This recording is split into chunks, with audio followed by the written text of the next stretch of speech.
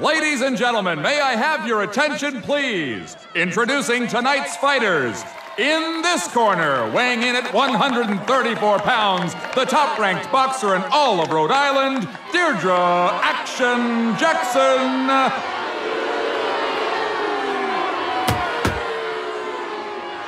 I think every Italian in Quahog is here.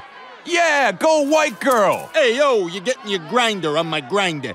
And in this corner, weighing in at 130 pounds, it's the ovarian barbarian and the breast of all time.